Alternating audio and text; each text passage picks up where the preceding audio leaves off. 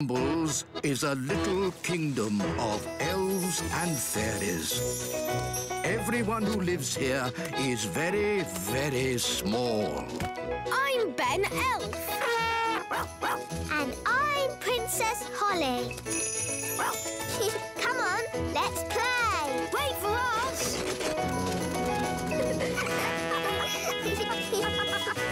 Ben and Holly's Little Kingdom. Today's adventure starts at the Great Elf Tree. Gaston goes to the vet. Ben!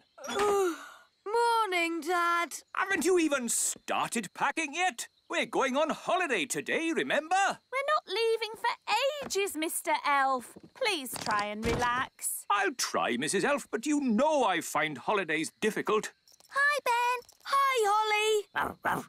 I'm taking Gaston to the vet. Do you want to come along? Yes. No, no, no! You're not going anywhere, Ben. You've got to stay home and pack your holiday bag. Oh, please let me go, Dad. It's ages before we have to set off on holiday. And we'll be really quick. Gaston's just going to the vet's for a checkup. OK, to the vets and straight back. No dawdling. Yes, Dad. See you later. Why is Gaston on a lead? He didn't really want to go to the vet. He's never been before. Here we are, the vets. Don't worry, Gaston. The vet is really nice. Hi, Strawberry. We've come to see the vet. That's my mum. She's the vet. Come in. Mum, Ben have brought Gaston for his checkup. Uh. Hello, Gaston. There's nothing to worry about. Uh. Pop Gaston up on my table, please. What a good ladybird. Now, let's have a look in your mouth. Mmm, nice healthy teeth. Wow, you're really good with animals. Well, I am a vet. She's my mum. Let's check your eyes. His eyes look really big. Nearly done now. We'll just take your temperature. Temperature's fine. All is good, good, good. Gaston, you're a fit and healthy ladybird.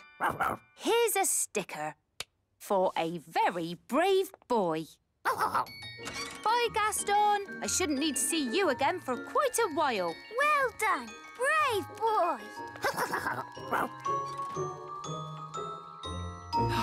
What's taking Ben so long? Mr. Elf, we don't need to leave for ages. Relax. We're back. And not a moment too soon. We've got really good news. Gaston is fit and healthy. And the vet gave him a sticker for being a very brave boy. Lovely. Now, Ben, start packing. We're going on holiday, remember? Uh, Dad, I just had a very good idea. Yes. Gaston can come with us on holiday. Oh, yes. That's a super idea. No, this is a family holiday. Gaston is family. Um, where we're going, I don't think they allow pets. Yes, they do. Well, Gaston's not coming, and that's final. Aww. Now, for the one millionth time, Ben, please start packing your holiday bag. Yes, Dad. Come on, Ben. I'll help you pack. Fairies are good at packing holiday bags, and I'm a fairy. I'll help too. Right. What am I going to pack? hmm, probably simplest just to pack everything. How about this ball? You want to play, don't you, Gaston? Catch! Well done. Gaston's great at catching. Here, boy, catch! Gaston, are you all right? He's hurt his feeler. We'll have to take him back to the vet. Ben, have you packed your holiday bag? Yes, Dad. Good. So now there's nothing to stop us setting off. We can leave as soon as we get back from the vets. Back from the vets? Uh, but, but, but... Uh, Look after that leg, and that leg, and that leg, and that leg, and that leg, and... Mum, Gaston's hurt himself. Oh dear, you better bring him straight in. I didn't expect to see you back so soon, Gaston. It's a bit sore, isn't it? I'll bandage it for you. And I'll sprinkle on a little fairy dust just to make it heal quickly. There. Gaston's scratching it. No, Gaston, you mustn't scratch it or it won't get better. I'll just pop on this plastic collar. Now he can't scratch it. Sorry, Gaston. Here's another sticker for being so brave. Well. Be careful now. I don't want to see you back here again. Well, well. Mrs. Elf, have you got the holiday tickets? Yes, here they are. Good. Throw them down to me. Oh, I'm not sure that's such a good idea, Mr. Elf. You might not catch them. Oh, I'll catch them. OK, if you're sure. You see, elves are great at catching, and I'm an elf. Why has Gaston got that big collar on? Don't laugh, Dad. You'll upset Gaston. Sorry, Gaston.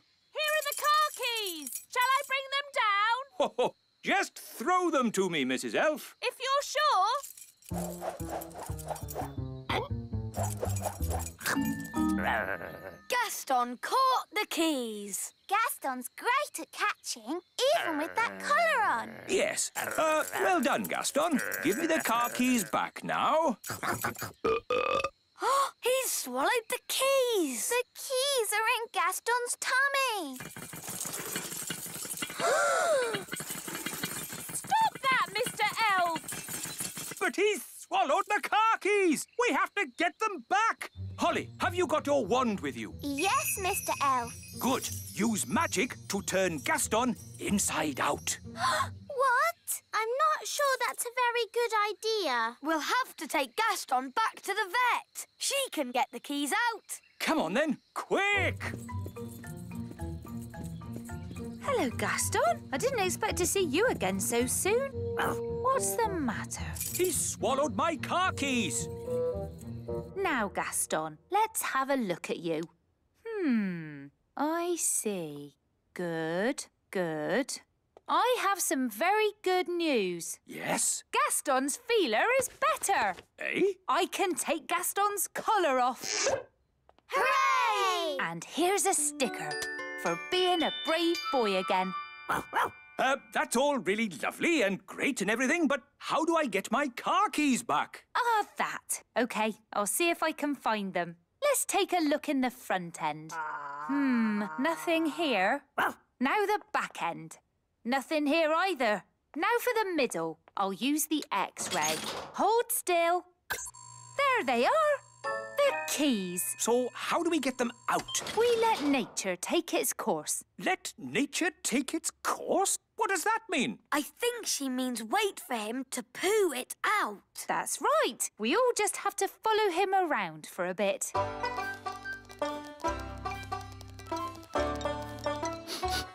Aha! Looks like Gaston might be about to, um, go. How disgusting. But at least we'll be getting the keys back. Oh, he only did a wee. Ah, the little darling. We just have to wait for him to go in his own time. In his own time? But we don't have any more time. We're going to be late for the holiday. Did you get the keys? Um, we have to wait for nature to take its course. What does that mean? It means we have to wait for Gaston to... Gaston's coughing. What's wrong with him now? The keys! Mr. Elf, you're a very lucky man. Yes. Well, Gaston, you certainly deserve another Brave Boy sticker. Soon, Gaston will have more stickers than spots. Gaston's been through a lot. He could do with somewhere warm and nice for a good rest. He can come on holiday with us. That would be perfect. I'm sorry, but I did say Gaston couldn't come. But that was before he'd been sick. Uh, he probably needs a pet's passport. I can give him one of those. It's settled then. Gaston can come on holiday with us. Yay! Yay. Have a lovely holiday, Ben. Keep Gaston warm. Have you got food for him? And a cushion? Yes. Bye, Gaston. And remember, I don't want to see you again for a long, long time.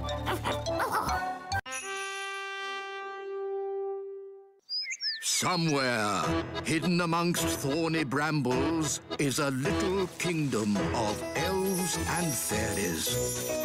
Everyone who lives here is very, very small. I'm Ben Elf. And I'm Princess Holly. Come on, let's play. Wait for us.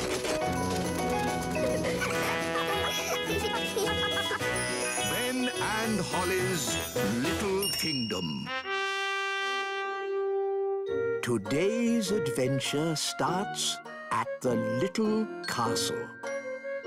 Granny and Grandpapa. What on earth is that? Hello, everyone. Wow, a talking card.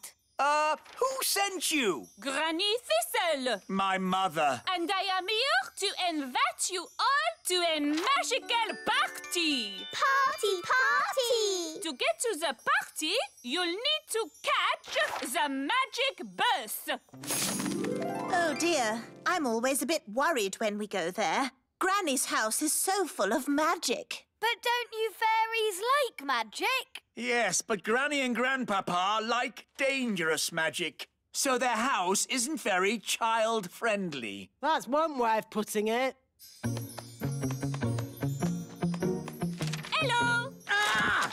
Magic in the elf tree. Shoo! You're invited to a magical party. Me? There must be some mistake. You are the wise old elf. Yes? You're invited to Granny Thistle's party. You'll need to catch the magic bus. Oh dear. Hmm, This magic bus is very late. Oh, hello, wise old elf. Are you coming to Granny's party?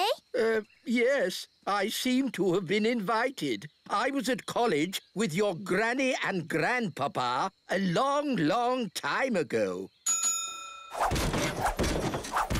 Typical. You wait ages for a magic bus, then three come at once. All aboard! I don't like this. There's no driver. I don't need a driver. I'm a magic bus.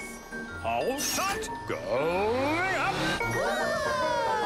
I really don't like this. Next stop, Granny and Grandpapa's. When we get to Granny and Grandpapa's, don't touch anything that looks magical. Yes, Mummy. Remember, Granny's magic can be a bit strong. Yes, Daddy. What about Grandpapa Thistle? Grandpapa Thistle? Oh, he's completely bonkers. Whatever you do, don't ask him about his hobbies. Grandpapa, Papa. Last stop, Granny and Grandpapa's. Everybody off. Oh, Wow, a in the clouds. Ooh. Let's ring the bell. No, Ben, don't touch it. Don't touch anything. I'll ring the bell. Oh, it seems to be an ordinary bell this time. Usually something jumps. Ah! I am Surpriser the spider. Hello, Mother. oh, you guessed it was me. Hello, Granny. Darlings, darlings, darlings. Hello, Granny Thistle. Hello, Ben. Welcome to my party. Ah, Cedric. hello, Millicent. Come along inside, darlings. We're going to have such fun. You've got got a rainbow inside your house. Yes, rainbows are so much better than stairs, unless the weather changes. Oh dear, looks like a storm is brewing. Maybe you should think about getting some ordinary stairs one day, Mother. Ordinary stairs? What would be the fun in that? Or like a fairy cake. Mmm, these cakes are amazing. Mmm, yum, yum, yum. Delicious. Of course, they are magical fairy cakes. Mummy, why can't we have magic cakes like this? We don't need to do everything by magic, darling. Honestly, it's as if your parents think the magic will run out if they use it too much. Cedric, you're not eating. Will you have a fairy cake? Well, all right. Whoa! I'm flying! Put me down! Oh, well, if you insist. Ah! Magic always leads to trouble. But you used to love magic. That was a long time ago. Thank goodness none of you could see me then. Oh, I think I've got some old pictures somewhere.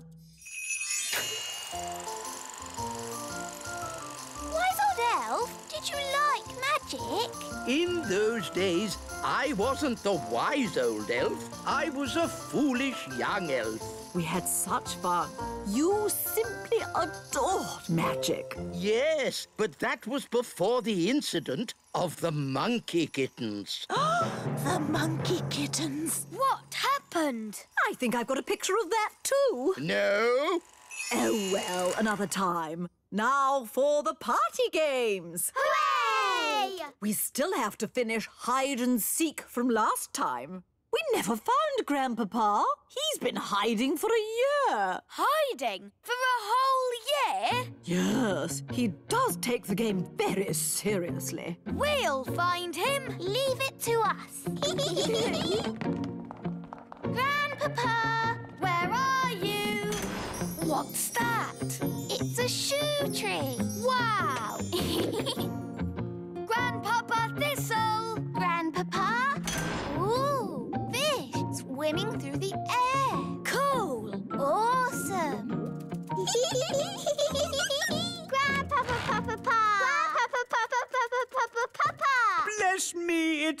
twins. You found me at last. Grandpapa. And Holly, my dear. Did I win the game? Hello, Dad. Have you really been hiding there all year? If a game's worth playing, it's worth playing right. Hello, Victor. Cedric, old bean. This is my best friend, Ben. Delighted to meet you, Ben.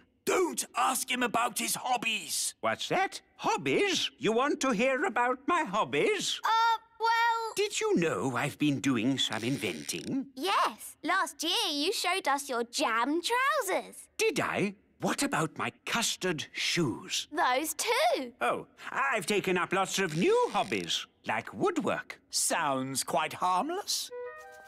Here's a wooden chair I made. It looks surprisingly like an ordinary chair. Yes, but then I asked myself, why should a chair have legs and not be able to walk? Here, boy. It can walk! Yes, indeed. Oh, it doesn't like being sat on. No, tha- that's the problem with walking chairs. And also, I've been doing some gardening. Gardening? That sounds relatively safe. I asked myself, why should a tulip have leaves? Why not hands or even feet? And I gave it a brain Master, and a voice. master. What do you think of my gardening, Cedric? This isn't gardening. This is an abomination. Daddy, what's an abomination? That tulip. I do like my hobbies. Frogs! I asked myself, why should a frog have just two eyes? Why not ten or twenty-three? Oh, that's enough, dear. They don't care about your silly old hobbies. Yes, I'm forgetting myself. It's your party, darling, and I've arranged a fantastic surprise. What's the surprise? I dread to think. To the top of the tower! Granny Thistle loves looking at the stars. Oh, yes. Stars are very pretty. So I asked myself, why do we have to look at the stars from down here? Why not up there in the sky?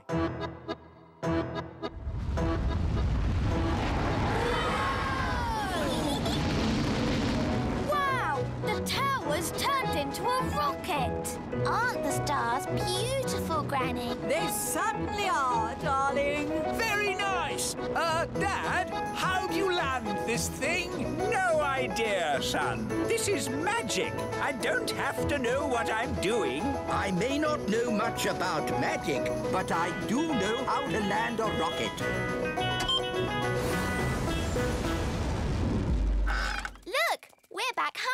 And we survived the party. Thank you for landing the rocket, Cedric. My pleasure, Millicent. Bye, everyone. Goodbye. Where to now? Home? No, let's head to the sun and see what it's made of. Groovy.